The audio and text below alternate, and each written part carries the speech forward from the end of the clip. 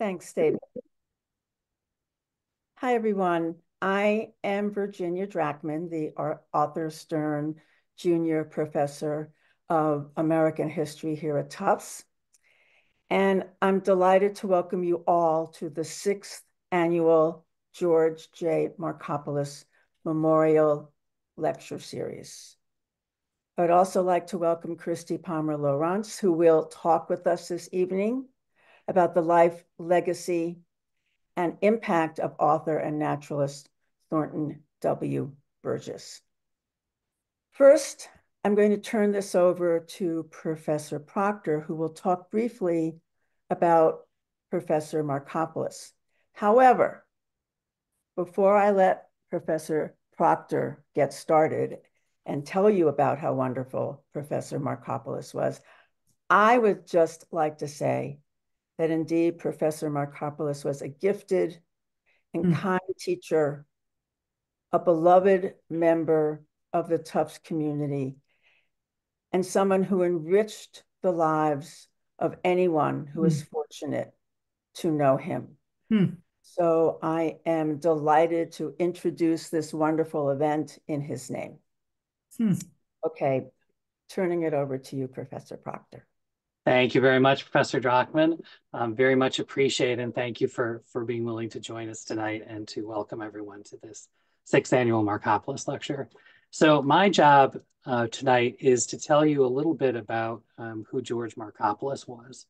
Um, I, I, feel sometimes pretty strongly that, that, you know, lecture series are created, um, awards are created, uh, different kind of memorials are created that you know are are given out that don't ever really pay attention to who they're supposed to honor and sometimes over time who something is named for the person who was named for gets forgotten and one thing that we've made you know a, a part of this lecture series since the very first one uh, is to make sure that we always ground it in the memory of Professor Marcopoulos. Mm-hmm. So previous lectures have generally always been focused on his academic interests um, which were mm. European diplomatic history uh, as well as Byzantium. Um, this year, however, we decided to go in a different direction because in addition to being an extraordinary scholar, Professor Marcopoulos was also an extraordinary teacher, mentor, friend, um, someone who spent 45 years at Tufts University, someone who really spent the bulk of his life working to support um, and move forward the ambitions and careers of his students. Uh, he was someone who believed fundamentally that every student had something to contribute, uh, that every student had something to offer in the greater kind of uh, scope of understanding the world around us and understanding the history that created it. And as I was preparing my course on, on Thornton Burgess, and I was am privileged to be able to be teaching a, a course on on Burgess this semester with three really excellent students who have agreed mm. to join me in that journey for the semester. Hmm. Um, mm. We've read Christie Lowrance's book. We've read some of Burgess's work. We read Burgess's autobiography. Um, and as I was preparing for the course and, and, thinking about Burgess himself, I began to think about, in a way, some mm. of the synergies that he shares with, with Professor Marcopoulos. Um, first and foremost is that sense of, of accessibility and that sense that there is really nothing beyond the scope of our ability to understand. Mm. Um, as Christie will talk about, you know, Thornton Burgess had a radio show that that was was shared by thousands, hundreds of thousands of listeners. Um, he reached five million um, readers in some of his his um, daily kind of newspaper bedtime stories. Um, he would get letters that would come in from literally all over the country from a fifth grader in Wisconsin to to you know an adult in somewhere in Massachusetts um, who would be sharing with him their kind of interpretations, their their kind of eyewitness accounts of the wildlife that they've been exposed to. And Burgess was always so great about taking those so seriously, about taking those with value, as mm-hmm. well as being connected to people like Professor Gross at Bowdoin um, mm-hmm. and other scholars um, he listened to what the scholar said, but he also listened to what his readers and listeners said. Um, and tried to make sure that everybody felt valued and listened to. And that's mm-hmm. exactly what Professor Marcopoulos did. um, in his 45 years at Tufts. He worked diligently to make sure that every student was listened to. He worked diligently to make sure that you never felt that your opinion was not valued. Um, and he worked diligently to make sure that every student themselves uh, always felt valued. Uh, I've been fortunate, I've been at Tufts now for over 30 years, and I've been fortunate to have a lot of, of, of great mentors. Um, someone like Steve Marrone, who was kind of helped guide me in the, the scholar I became. Um, our American historian, Jerry Gill, who's probably my closest friend at Tufts, um, who taught me really how to engage with students uh, Lucy Der Manuelian, an art historian who introduced me, first one to introduce me to Byzantium that George Marcopoulos would then mm. kind of pick up on. Um, but George stands out as someone, you know, from whom I learned how to to be a teacher, how to be an advisor, how to make sure you valued your students, how to make sure you valued your colleagues, um, and how to, to understand that everyone's opinion mattered. Um, mm-hmm. And he was mm. always someone who you could count on to, to listen to you. Um, and part of what tonight is about is, is celebrating an individual like Thornton Burgess who represents so many of, of those same qualities. Um, Professor Marcopoulos, again, taught here for, for 45 years. Um, even in the very end of his time, um, he retired in 2006, moved to the retirement community of, of Brookhaven, where thanks to Professor Marcopoulos, um, who was a bit of a social butterfly as well as many other things. You know, mm-hmm. I um, was privileged to have dinner many times with, with Bradford Washburn and his wife, um, who was um, part of the Boston Science Museum, the leader of the Boston Science Museum. His wife was the first woman to climb mm-hmm. Mount McKinley, I think. Mm-hmm. Yep but you know during that time professor marcopoulos was always still involved still engaged. Um, when he retired we did a little celebratory newsletter in which I, I, got many of his former students to contribute memories of him. And we presented him with the newsletter and, and he, he, he seemed touched but it was hard to tell. Um, a couple of weeks later i was over at brookhaven for dinner and his friend of his, Kay McCarthy, a former provost here at Tufts, pulled me aside. She said, "You know what? George really valued that that newsletter and all those nice comments. Mm-hmm. He just couldn't understand that he had made that kind of an impact. Mm-hmm. He just couldn't fundamentally believe that people really kind of mm-hmm. saw him in that light." Um, and some of the last things we read in, in Thornton Burgess's biography about some of the honors he received at the end of his life, mm-hmm. um, it was very much the same thing. Someone mm-hmm. just didn't realize, you know, the impact that they had had. Um, one of my last memories of Professor Marcopoulos, I would visit him every Friday. Um, mm-hmm. After our, our, friend Professor Gill passed away in 2007, um, Professor Marcopoulos fell ill, went into the nursing home wing at Brookhaven, never really got out of it. Um, and pretty much every night that I'd go over and see him, which was every week, he would be kind of communicative, kind of not, um, hmm. not very, you know, responsive some nights. One night in May of 2011, I went over. I was dealing with a major choice. Um, I'd been offered a position in the history department, which would mean leaving my position in classics.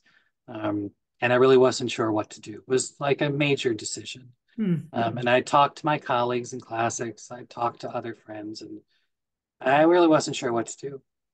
That night, I walked into towards Professor Marcopoulos's room, and for the first time in months, all the lights were on, which I thought was odd to say the least. I walked in, and for the first time in probably almost a year, he was fully propped up in bed, fully alert. Hmm. Um, I walked over to him, you know, said good evening. He said, "So, David, I hear from Howard, our a mutual friend of ours, um, that you've been offered a new position. I said, yes. And then we spent a good 45 minutes talking about that position. And he convinced me that it was the right thing to do. Um, that was really the last time he was that communicative. Mm-hmm. Um, and I could tell by the end it had taken a lot out of him. But mm-hmm. even not feeling well, even in that last moment, um, he still wanted to do what he thought was in the best interest of one of his hmm. students. Mm. And that, in very many ways, is kind of a defining element of who Professor Marcopoulos was and what this lecture series, in many ways, is is also meant to represent. Mm. So without further ado, I'm going to turn you over to our three students because another tradition of this lecture series is that the students always introduce the speaker. So our three students are first going to introduce themselves and then they're going to jointly introduce our speaker. So take it away. Thank you, Professor. Um, my name is Isaac Karp. I'm a, a, a senior at Tufts studying history. Hi, I'm Lucy Millman. I'm a senior at Tufts and I'm studying public health and political science. Hi, I'm Darcy Miller. I'm a senior at Tufts and I'm studying history. All right, so let me begin by saying welcome, everyone. Today we're privileged to have Christie Palmer Lowrance for the sixth annual George J. Marcopoulos Speaker Series. Ms. Lowrance is the author of Nature's Ambassador, a definitive, a definitive biography of the 20th century children's writer and naturalist Thornton W. Burgess, as well as a nonfiction children's book, The Last Heath Hen.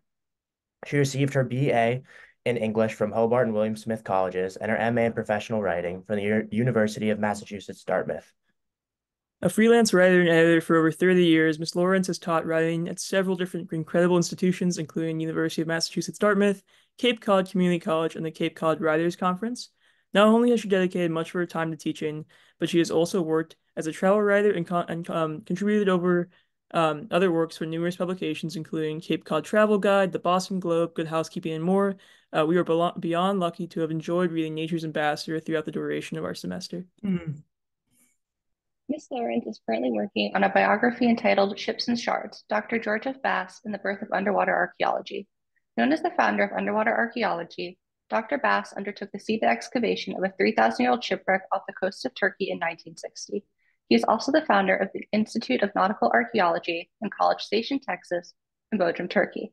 Lowrance's upcoming biography builds from her work for her master's thesis, in which she utilized interviews with Dr. Bass, ocean explorer and pioneer in the use of deep sea submersibles, Dr. Robert Ballard, Dr. Bardo Arnold, Dr. Kevin Crisman, and other maritime science, exploration, and historical authorities. Hmm. Thank you for that wonderful introduction. And mm-hmm. now with only a moment of ado while I pull up the PowerPoint, um, we are mm-hmm. pleased to, to welcome Christie Lowrance to give her talk on Thornton Burgess. So give me one second to get our PowerPoint pulled up and we will get right underway.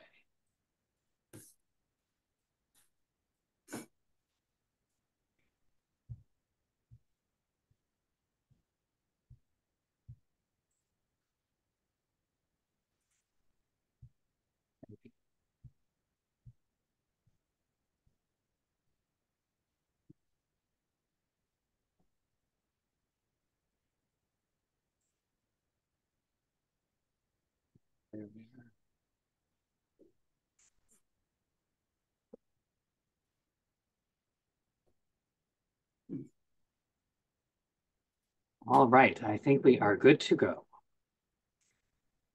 Well, I'd like to thank everybody for the uh, tremendous honor of being here, um, having the opportunity to address you, and especially the students.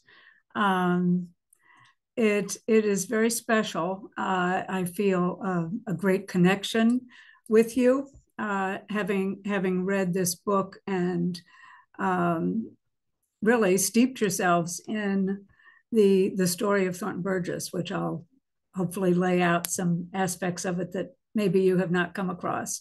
But I did want to start by saying that, you know, we all know about the imposter uh, syndrome. And if you needed a definition of it, it might be the biographer of a 20th century children's author um, who's who's been writing children's books, who's then going to be stepping into the role of speaking in a lecture series that has classically been devoted to Byzantium and Rome and Genghis Khan's armies. Um, but after I got my balance on that idea uh, and understood from um, Professor Proctor a bit more about um, Professor Marcopoulos, the, the connection um, between these two uh, was quite powerful. Um, uh, I came to think after four and a half years of working on George Bass's biography, I came to understand and think of him as a, uh, a pioneer environmental educator. He's known as a children's author. He's lesser known, unfortunately, as a, as a naturalist and a conservationist. But the truth is, the, the heart and the soul of his work was education. And in that, uh, he shares that heart for education, that heart for students that uh, Professor Marcopoulos certainly had. So it's it's definitely an honor um, to be speaking here uh, at this particular series. Uh, in this uh, initial slide, I've laid out some of the things Burgess was known for as a naturalist, conservationist, uh, the environmental educator, author of 70 books, uh, columns. He's, he's known for these things. Next, please. Next. Um, um, but the, the way that he's known these days is, is much different. In his day, uh, in the early 20th century, mid 20th century, um, Thornton, Thornton Burgess's reputation as a naturalist and a, an authority on environmental education was considerable.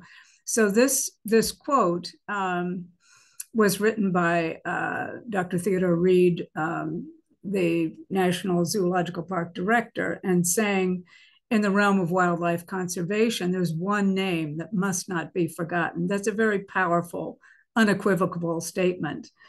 And he identifies why as an early uh, proponent of the necessity for public awareness of conservation of our wildlife and environment. We're indebted to him. Um, I used this quote at the very end of my introduction and said, This debt has yet to be paid. So it could be that this lecture will be a piece of the repaying of, of that debt to Thornton Burgess. Next, please.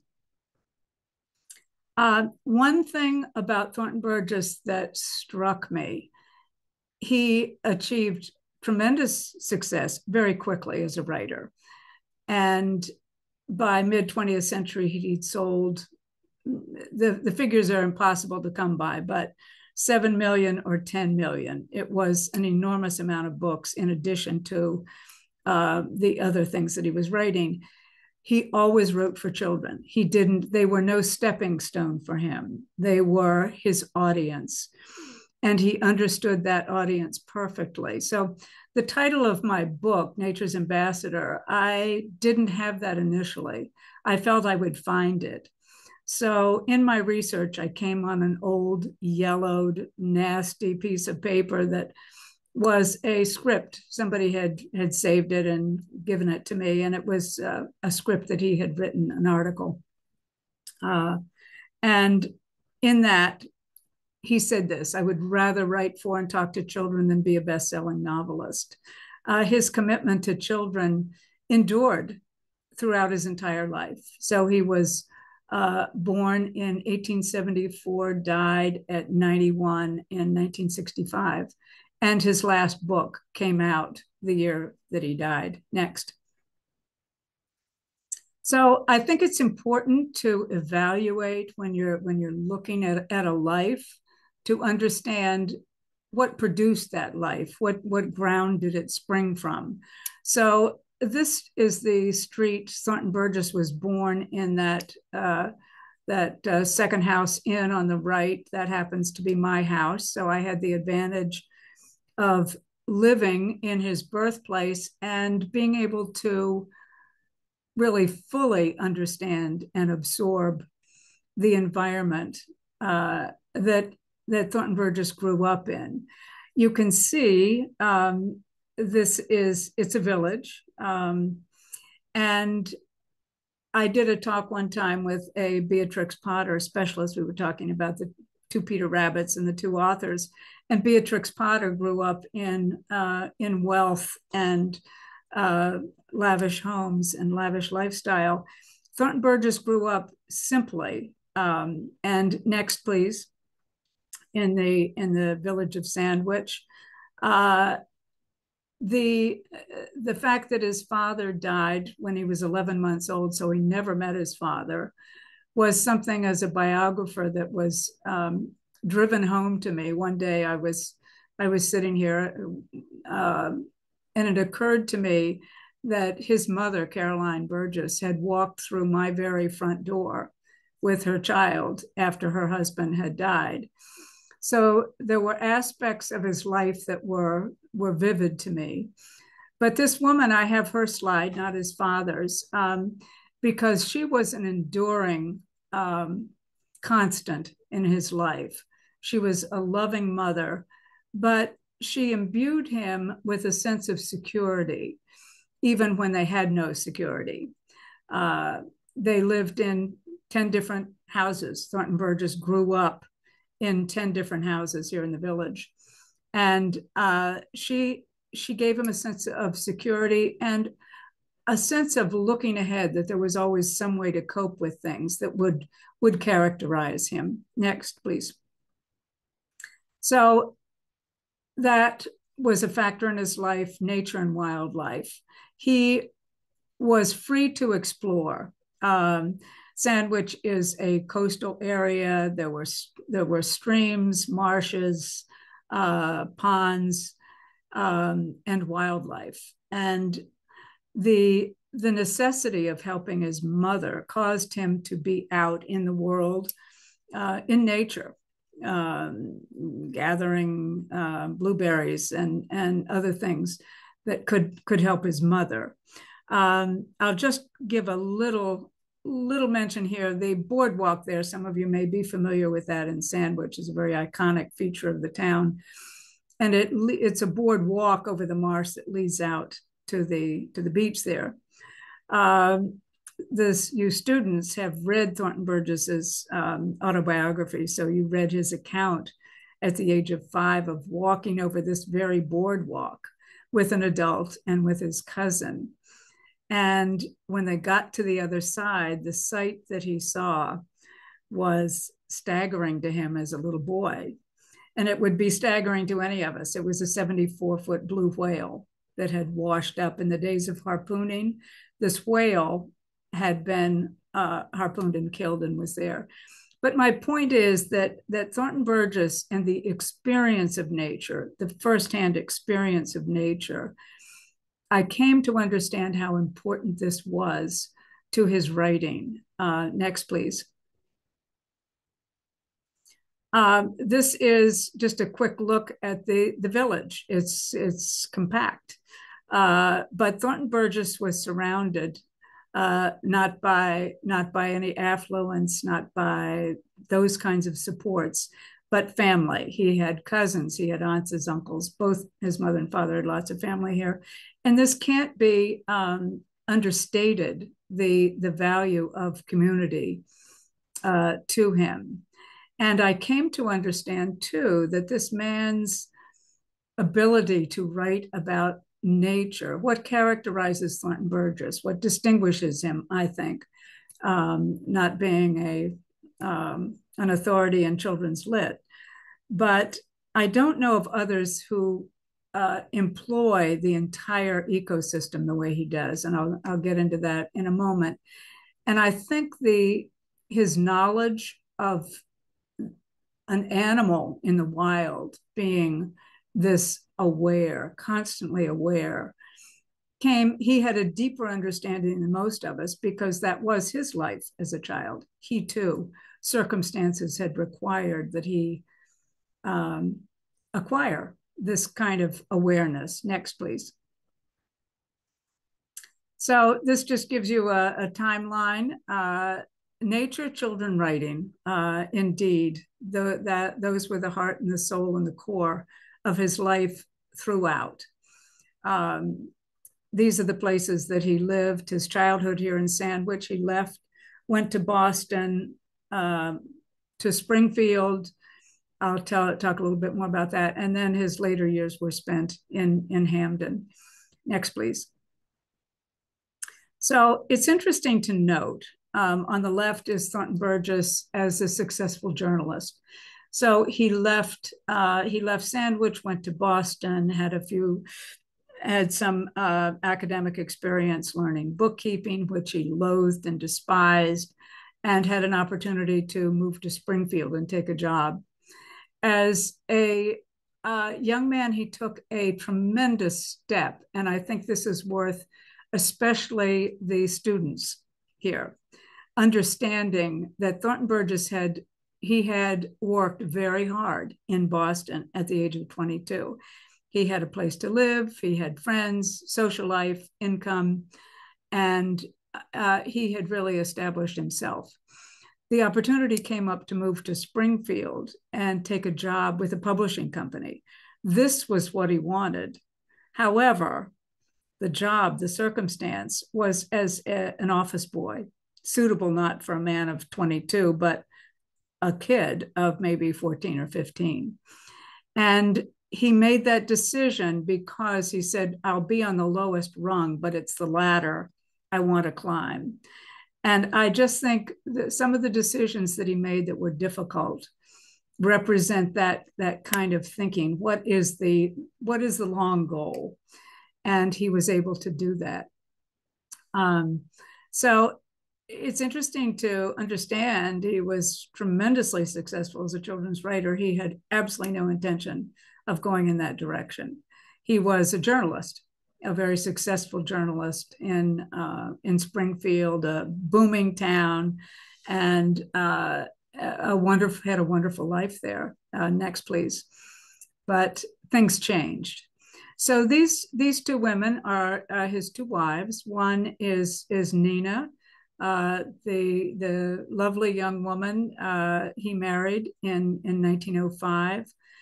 As tragedy struck his mother, uh, tragedy also struck him, and Nina died um, the the year after they were married, um, after childbirth, and he was so bereft that he was unable to attend the funeral, which was held in his own house. He was not able to.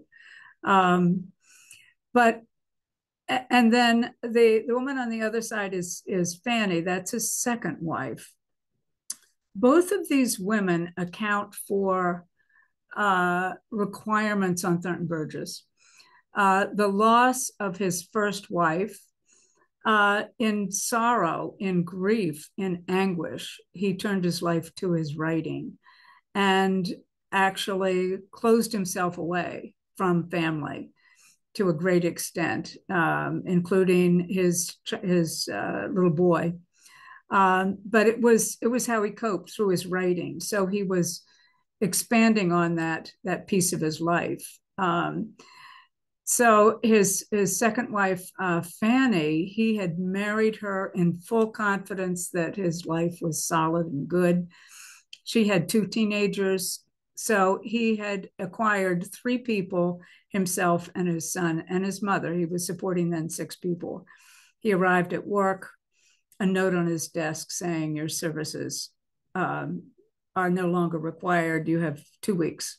So he was let go, and he had only married two months earlier. So, next, please. Uh, the desperation that he felt was complete and total. He basically had no income.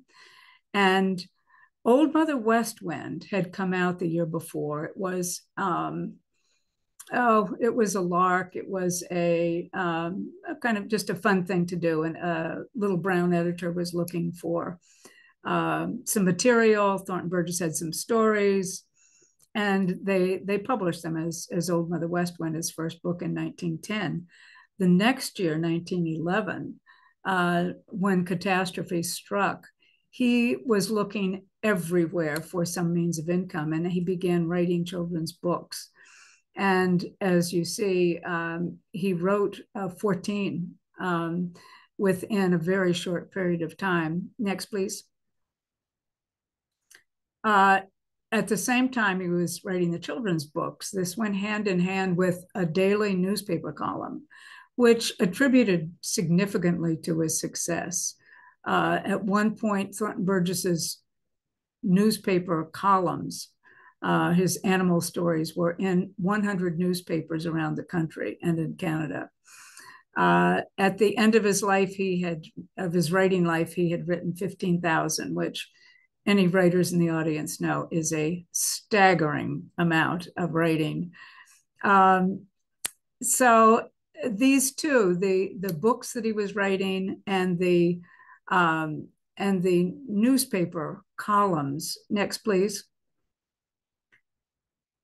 Gave him um, something that was um, absolutely critical to every aspect of his life. Um, and that was his audience. Um, he was he was a household name. He was well known, and the the fact is that for Thornton Burgess, being a literary figure was not important to him, but it was a platform for him, and he absolutely understood that. Uh, the the point of of his stories was the presentation of of nature. And so these two aspects audience and his subject matter were what fueled his success in literature and conservation and in environmental education. Next please this quote uh, says says it all. Gradually, I woke to the understanding that entertainment was incidental, merely the means to an important end. That I was in possession of a master key to education, that nature is a universal teacher. So, Thornton Burgess wrote an article in 1924 in a very important magazine, Nature magazine, and some of leading conservationists in the countries also had articles in that. And his article was on nature is the universal teacher. He believed that ch- children learned uh, better about nature through nature than through any other means. Um, and he made full use of this in deliberately in his books. So the the I have uh, the Adventures of Bobby Coon there. That was a book um, uh, the uh, the president of the uh, Sierra Club, David Brower, has a full chapter on Thornton Burgess in his autobiography, and he cites this book, The Adventures of Bobby Coon by Thornton Burgess, as turning his thinking to understanding uh, the the world of nature, the world of, of animals and wildlife. So the in the, the the the lower part there, that's Stu Parsons. Parsons. Some of you may know him. Um, he was the uh, the first naturalist at the Thornton Burgess Society in Sandwich, and Stu, I, I will never forget, told me one time that he said animals are just the most amazing uh, teaching tool. He said I would walk into a classroom, the kids would be chatter, chatter, chatter, chatter, nobody paying any attention to me. And I just stand there and I kind of wait. And then I'd have a frog in my pocket and I'd bring out the frog. Silence. And he had the full attention of, of the class with, with an animal. And this, this um, phenomenon is something that Thornton Burgess understood and utilized beautifully. Next, please. Um, I, I, just wanted to mention this for any any writers uh, or biographers uh, who may be here, that uh, when you're writing a biography, you don't exactly know, you're not in total control of what you are going to come up with. And I was well aware that Thornton Burgess had a Peter Rabbit, and of course, Beatrix Potter had a Peter Rabbit. But they uh, they I could ignore this and just kind of downplay it and and move on to other things, or I could deal with it. So I I decided that it was a subject that that needed to be explored. Thornton Burgess always credited, by the way, Beatrix Potter um, with the uh, with the character, the rabbit character. Um, but it was important to establish this. And a Smithsonian researcher said, as far as she knows, that Nature's Ambassador is the only place where this um, this piece of potential plagiarism um, at the dawn of children's literature is fully explored.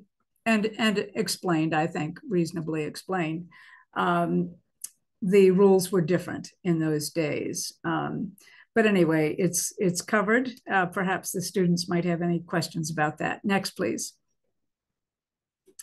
Um, oh, and I just wanted to say too that for researchers, any researchers there, uh, sometimes you come across information that is just yours. You've you've you've come on something no one in the world knows. And I was in that position with Beatrix Potter and Thornton Burgess, who committed. Uh, I apologize. I know we need to move on to the natural science, but I I just had to point this out. The two writers of, of Peter Rabbit uh, both claimed love, true love, in the same year, same month, give or take, July, June, July. And both of those loves were lost uh, tragically um, within a very short period of time. And both writers cite Joel Chandler Harris. Um, it, for any children's lit people, there's a fuller discussion of that, uh, but this isn't the place for it. But it's extremely interesting. Um, so, next, please. Um, this too is one of the most delicious pieces of research. This is a uh, a quote in a book, um, "Road to Road to Childhood" by Anne Carroll Moore, who was this very fearsome, formidable New York Public Library librarian um, in the dawn of children's literature. Uh, there were a group of women who were establishing the ground rules for this new field of, of literature. And Thornton Burgess was writing a few too many books to suit them. There was not that literary quality that they, they approved of. So Anne Carroll Moore did not was not a great fan of Thornton Burgess's for that reason, and but she was writing a, um, a, Christmas review one time, and she asked this child to come into her office. Child reader she respected, patron at the library, respected very much and she wanted to get his suggestions as a child for what books he was enjoying reading. And the, the child looks around at this room filled with stacks of books and says, Is there nothing here by Thornton Burgess? And poor Anne Carroll Moore, I can just, you know, hear her asking, Aren't there any other books that, you know, do it for you? And uh, so, but look, look at this quote. Look at, at what this child said. Thornton Burgess can put it over the others because, and this explains why Thornton Burgess's books are still sold today after 100 years, which is extraordinary. He sees what I see, and I understand his language. And that is quite simply the key to Thornton Burgess's success. Um, uh, a piece of piece of it. Care, uh, move uh, advance, please. Thank you. Um, so I mentioned that he he wrote about a complete ecosystem. So the in his characters, you can see the mammals, the birds, amphibians. You know, these are all characters. The arachnids. His his character of Madame Orb is absolutely brilliant. And you will learn about how spiders weave spider webs from Madame Orb if you if you get into that particular book um, and the habitat. He writes about woods and trees and streams. And you see his experience back to his childhood. He knew these places intimately. He could describe them. He'd seen the nests, he'd seen the burrows, he'd seen the evasion tactics of one species over another. Uh, so his childhood gave him the knowledge to employ all of these. It was a gift, really, that he didn't have the advantages. Next, please. Um, and as a result of uh, the Thornton Burgess' success as a storyteller, he uh, attracted a readership worldwide. Um, this is uh, the the cover is a Reddy Fox uh, story in in Japan. Um, 20 Burgess books were translated into Japanese. And then, based on their tremendous popularity, in 1973, anime was produced. and ran once a week for a full year. And then in 1979, it was converted uh, or re- reissued, I should say, as Fables of the Green Forest, which you can still see. Um, but I, I, I came on Fables of the Green Forest in uh, on YouTube, and someone had had commented, "I never thought I'd I'd hear the theme song of Fables of the Green Forest," and this person was from Romania. Uh, so the the breadth of Thornton Burgess's audience um, is is very impressive. I mean, I I called a, a, a nuanced software technician in Seattle one time and mentioned Thornton Burgess, and this man on the other side of the country said, "Oh yes, uh, my mother loved Thornton Burgess." So I I feel like finding this connection with Thornton Burgess is is very easy, and it's based on those those two things: um, his his audience and his well his understanding of his audience and his use of nature. Next, please. Um, in conservation, Thornton Burgess played an extremely important role, and it, again, it was it was the size, the scope of his audience that became uh, noticed by and deeply impress, uh, impressive to uh, people like William Hornaday, who was a um, an arch uh, conservation activist. Uh, and when Thornton Burgess first came to him, he really didn't have time for him, but he he then understood Thornton Burgess, oh, he was the one who's writing all these books. His name is a household name.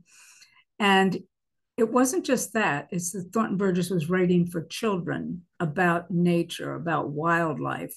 And Thornton Burgess's passion was really love of wildlife, caring for wildlife, stewardship.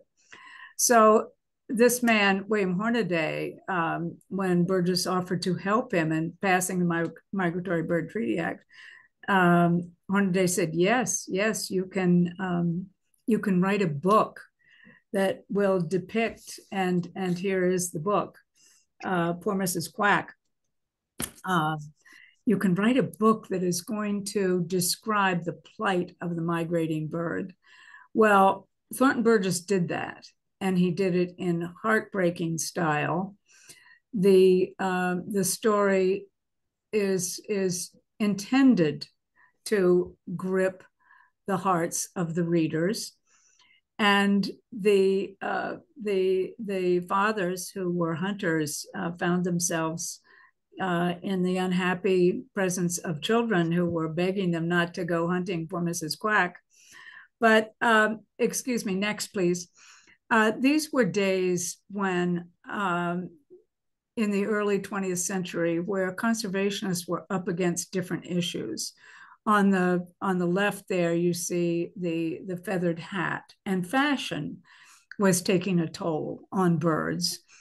On the right, you see the the uh, the, the Boston game market, and what had happened in the in the early decades of the 20th century was that cars had provided hunters with um, with greater access into wild into the areas, the habitat of wildlife, and gun power was changing as well. So things were increasingly stacked against um, the, the, wildlife creatures. And next, please. Um, and so uh, Thornton Burgess's efforts were were greatly appreciated.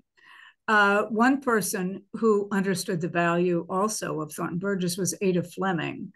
Uh, I don't know if you've heard of the International Kindness Club. Apparently, they're still they're still in operation, but Ada Fleming founded that. Um, Albert Schweitzer was the um, the uh, um, uh, sponsor, and she consulted with Thornton Burgess as uh, on his techniques, his his um, his content for environmental education. And Thornton Burgess, in this middle paragraph here, is writing to her and say, talking about the Massachusetts law against uh, steel traps and that he had advocated for that and was very disappointed when it was when it was undermined but he says we must rely on educating the public especially the children so it wasn't a matter of entertaining children it was never maybe in the beginning it was but by the end of the uh, the 19 teens he fully understood um, what he was doing, and he was advocating for nature and for wildlife. Next, please. So, environmental education for Thornton Burgess uh, took on a different focus in the 1920s. Radio had come out. Um, one of the first programs was through Westinghouse. And Thornton Burgess was invited uh, to read uh, some of his stories on uh, WBZ in, in Springfield. And they became very popular. And then he said, well, looking to advance the educational value of his stories, he said, I'd like to be able to talk a little bit about the animals that are within the stories and give more on that. That went over well. His audience was just growing by leaps and bounds. And he then came up with the idea of the Radio Nature League. And this would be an organization uh, membership uh, would require pledging to support wildlife. And within two weeks, Thornton Burgess had, I think it was something like 50,000 people had signed on. It was it was massive. I, I, may have my figures here. Maybe the students can correct me, but um, it was it was a, a, huge amount, and it was instantly popular. Uh, but not only children were signing up for the Radio Nature League, which was on once a week, um, but conservationists, science, adults. Um, and Thornton Burgess absolutely used his Radio Nature League as a platform. Next, please. Um, it was it was near and dear to his heart that radio at its inception could be used to advance science. And a Smithsonian scientist who was, who was a friend of his, um, Austin Hobart Clark, also believed these, these two young men um, saw the possibility of radio just as young people, when the internet came out, you know, began to see its potential. These two specifically saw the potential of radio to advance science. So I put up a few quotes here, one by Austin Clark, um, that says, and in the, the highlighted area, if it reaches scores of thousands who seldom or never read the printed page, but whose thirst for accurate information is insatiable. Um, and that was the point. This the radio uh, came into being, became publicly accessible in a time when our country was changing the uh, the agrarian focus was was changing. The war had had had that that kind of an impact, and um, the the point of radio being able to provide information to people who often were knowledgeable about nature, but this insatiable thirst was um, very specific. What is this caterpillar in my backyard? What is this butterfly? Um, why does this happen? And Thornton Burgess provided a platform for those questions for children, for adults. And he was having Smithsonian scientists like Austin Hobart Clark and others on his program answering questions, creating an interface for scientists and his and his tremendous audience. So the the the power of education that Thornton Burgess wielded was considerable. And then here, here you have this other quote, Washington Post. The possibility of radio as a direct and practical aid to science has been demonstrated during the last year by Thornton Burgess. So it was acknowledged that this is what he was doing with his radio program. Next, please. Um, so these are some of the ways I've, I've listed on the right there um, that Burgess was actively promoting science and conservation. This is a piece of, of this man that is far lesser known than the adventures of uh, uh, Jimmy Skunk and, um, and Peter Rabbit. That's, that's how he's significantly known, but he was promoting science and nature and environmental education in all these different ways. Next, please. Um, so the, the Bowdoin connection, um, uh, Professor Proctor mentioned this, um, is, is pretty interesting. So Thornton Burgess had his radio program and this belief that it could aid science.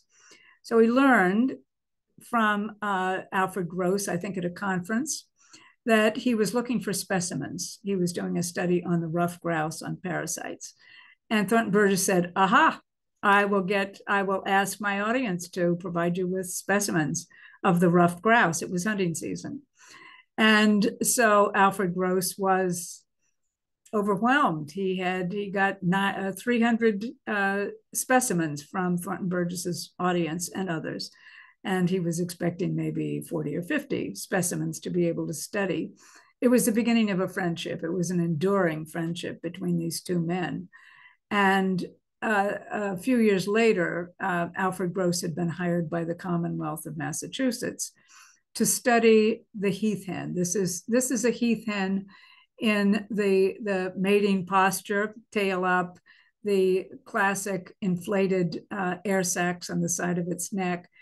What looks like ears are actually feathers that in the in the mating stance, the, this is what the male heath hen does. The ears go up, uh, the feathers go down.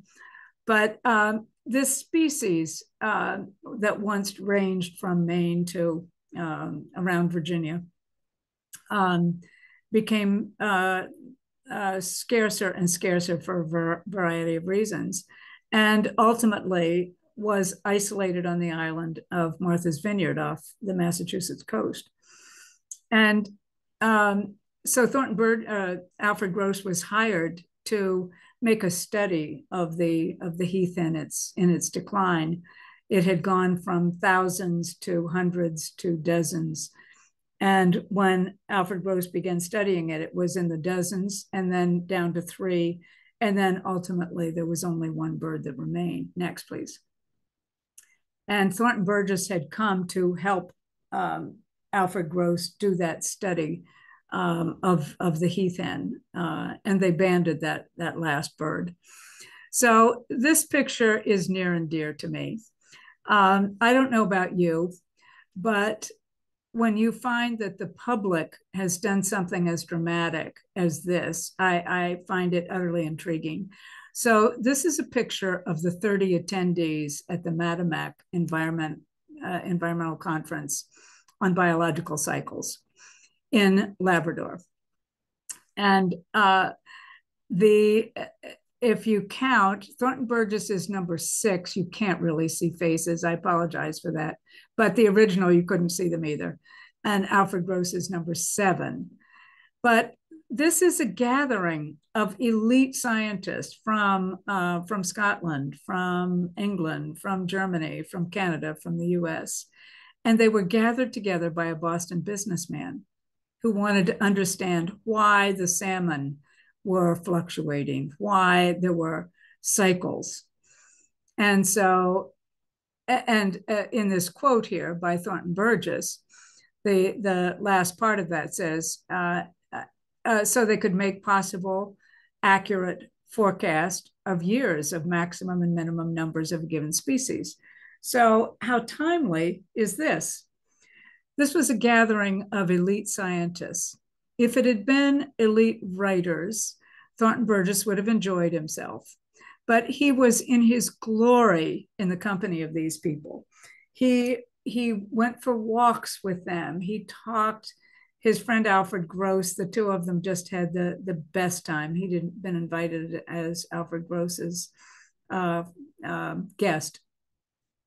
But what's impressive, I mean, there's so many things impressive about this that a Boston businessman set up this conference because he was curious about the environment. Um, but Thornton Burgess soon realized that all of these elite scientists knew who he was. He didn't know who they were. They all knew who he was. And that was the extent of his, his reputation. Um, next, please.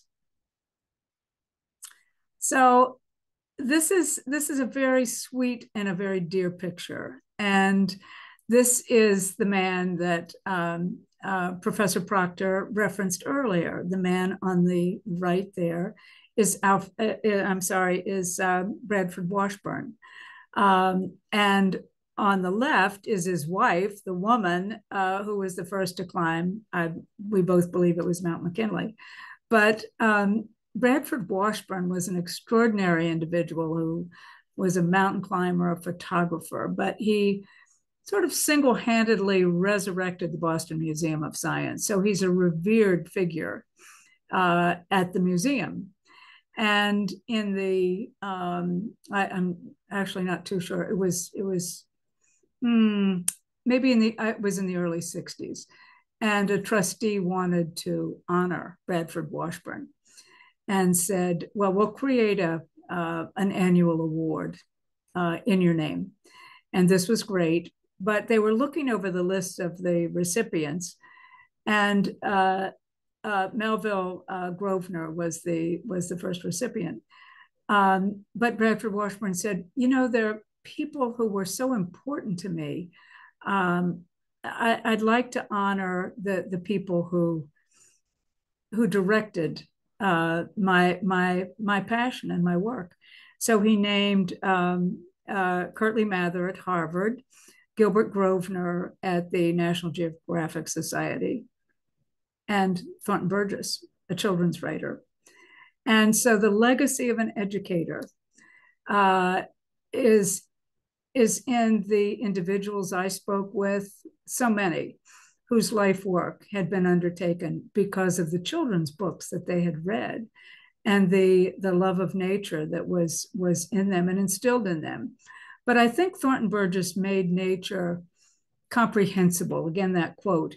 Uh, he sees what I see, and I understand what he said. So Thornton Burgess was able to translate. It wasn't stuffy, uh, stuffy information about nature.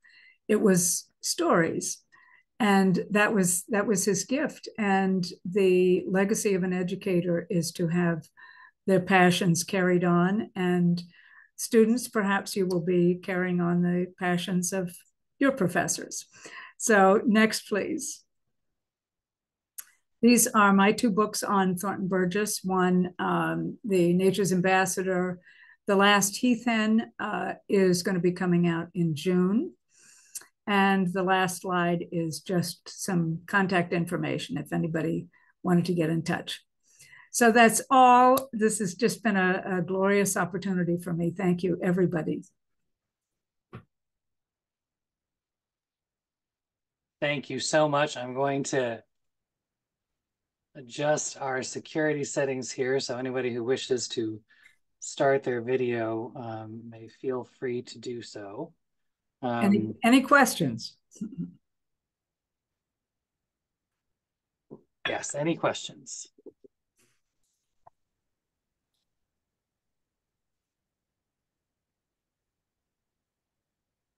Well, I'll kick off with one question oh. kind of to start the ball rolling a little bit. um, so you you talked a lot about um, about his role as a as a naturalist, um, the the kind of scientific communities that he had interactions with.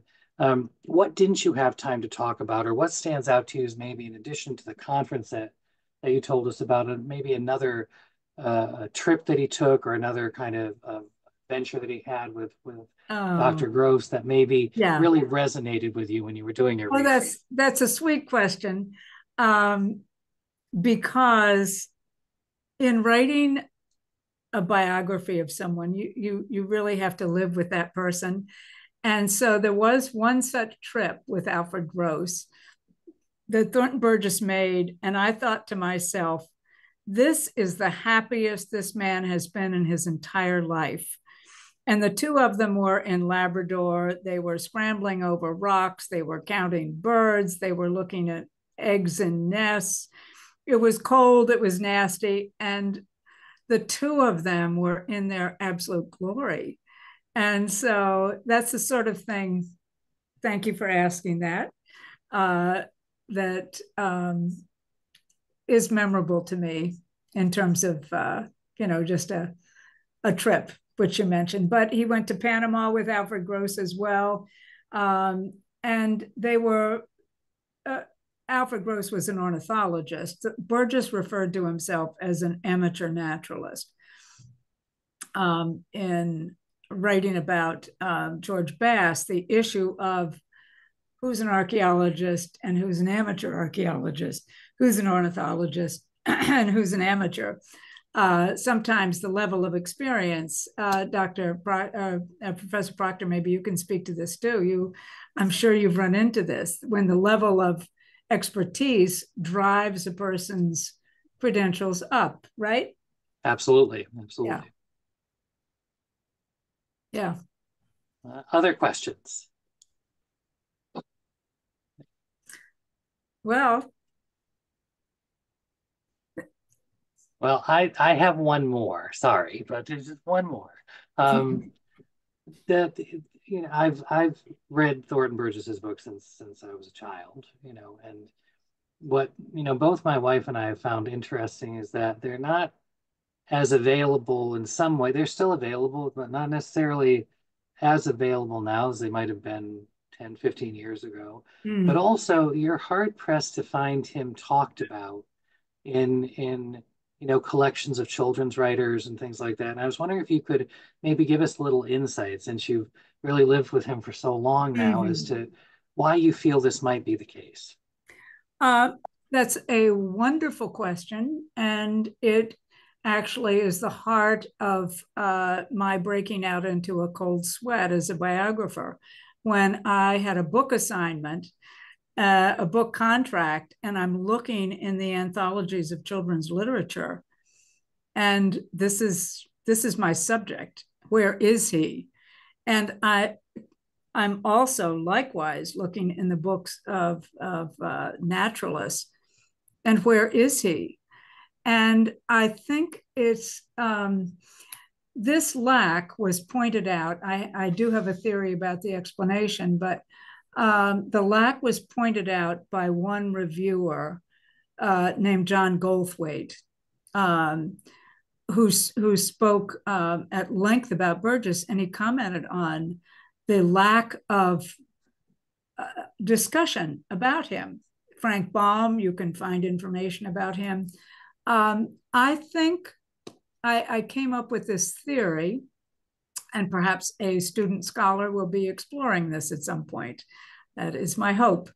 But that, so here are two fields Thornton Burgess in children's literature, Thornton Burgess as a, as a naturalist, environmental educator.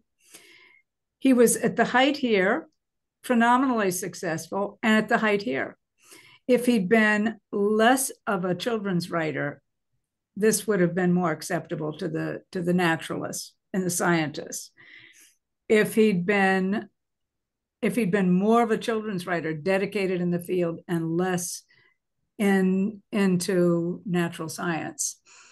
But the naturalists mid 20th century who were writing the, the anthologies were hard pressed to embrace the, uh, the author of uh, children's stories with um, uh, clothed animals who were who were talking. Time things changed, um, and the as far as children's lit goes, I think that I personally, again, oh, it is my dream that a researcher will come along, look into this, and actually document. I I documented to my satisfaction as a, as a biographer I do feel that the sense of Burgess, there was a disapproval among the uh, the founders of the field of children's literature, um, and they absolutely adored um, Beatrix Potter, for for example. Um, but Burgess was too too commercial. He he felt too commercial, um, and the the point the heart and soul of his work, that environmental education, I feel both groups have missed.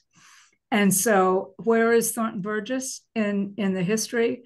Uh, it's it's really pretty amazing. Um, and let me just see, there was a review of of Nature's Ambassador in Envi- Environmental History uh, magazine, which is quite a prestigious publication. And I was told I'd be really lucky to get it reviewed in there, and, and I was quite happy with that.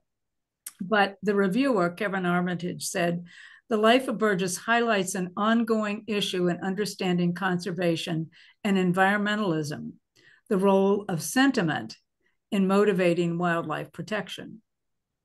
And I think, actually, I looked over that tonight and I thought, you know, I think it's the role of, of uh, humaneness.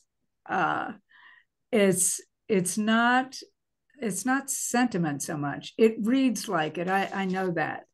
But his goal was to create a heart for nature. And he was tremendously successful. But that success is not recorded in the in the annals of children's literature or I in uh, you know the the uh, the histories of early 20th century naturalists and conservationists. So, good question. Excellent. Thank you very much. Um, any last questions before we wrap up for the evening? Feel free to unmute yourself, raise your Zoom hand, whatever works for you. I have one small question? comment. This oh, go right ahead. This is Chris Fry. Um, about being um, necessarily forgotten, not necessarily, but um, not, uh, out of memory, I guess. Overlooked, perhaps. yes, that was that wasn't very uncommon. I can't. I don't see why that would be that uncommon. Unfortunately, there were so in that time period. You had uh, George Grinnell. You had um, mm. John. Um, uh, uh, John Burgess, or not Burgess, uh, Burroughs. I'm sorry, mm-hmm. and um, uh, you have of course Hornaday, and um, you get the whole like the Migratory Bird Act. Uh, there were many many people involved with that, and mm. it, it, was um, and a lot of those people are just not recognized mm. or remembered necessarily. Some are. Uh, Hornaday is probably one of the uh, but he was rather boisterous. Oh yeah. Um, but um, the most defiant devil is the is the name of his yes. uh, biography. So, yes. Yeah. But uh, they all work together pretty well. Um, and uh, but uh, Thornton Burgess definitely stands out. Mm, definitely does. Yeah. And thank you for the invite. Mm, you're welcome. Uh, any other questions? or comments before we wrap up? All right, then. Well, I want to thank you all for coming this evening. Thank you, Christie, for a really excellent lecture. That was fascinating um, and, and very informative. And we're so delighted you were able to, to join us this evening. So I want to thank everyone for attending um, and hope you have a, a good weekend and a good rest of your Friday. Hmm. Thank you. Thank you. Thank you. Thank you. Thank you. Yeah, thank you very much. Really thank enjoyed you. the lecture. Thank you. Good. Thank you. Thank you. So Professor Proctor, can we stay for a moment after? Of course, of course. Let everybody make their way out and then yeah. we can stay for a moment.